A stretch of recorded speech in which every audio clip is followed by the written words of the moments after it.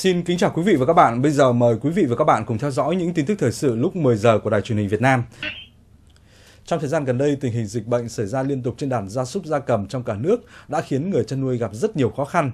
Để phát triển chăn nuôi mang tính an toàn và hiệu quả cao, ngành nông nghiệp Hà Nội đã thử nghiệm mô hình chăn nuôi an toàn sinh học với quy trình chăn nuôi khép kín mang lại hiệu quả kinh tế cao. Người nông dân này đã áp dụng chăn nuôi với chế phẩm vườn sinh thái, sản xuất theo công nghệ nano.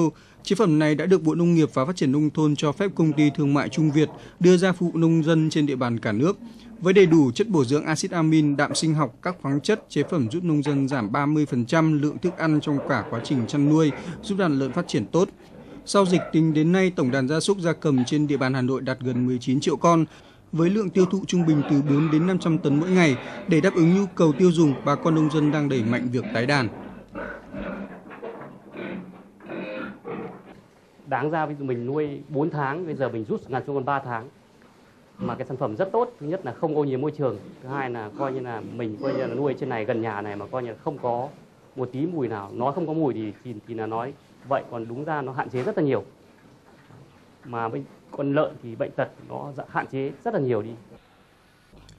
Các chuyên gia đánh giá, việc tái đàn gia súc trên địa bàn Hà Nội đang có nhiều tín hiệu khả quan. Ngoài sự nỗ lực của bà con nông dân, các đơn vị liên quan đã tích cực kiểm soát chất lượng, giá cả con giống và thức ăn ổn định. Đồng thời cử cán bộ kỹ thuật xuống tận cơ sở hướng dẫn bà con cách sử dụng các loại chế phẩm sinh học nhằm đảm bảo hiệu quả chăn nuôi và cây trồng tốt nhất. Theo Bộ Nông nghiệp và Phát triển Nông thôn, từ nay đến cuối năm sẽ không lo thiếu thịt lợn và gia cầm vì dịch bệnh đã được khống chế. Giá đầu ra của các loại thực phẩm này đang ở mức cao có lợi cho người chăn nuôi, kích thích người dân đầu tư tái đàn. Việc ứng dụng công nghệ sinh học trong chăn nuôi không những giúp nông dân giảm chi phí đầu vào mà còn giúp con vật nuôi có khả năng kháng bệnh và nâng cao chất lượng sản phẩm.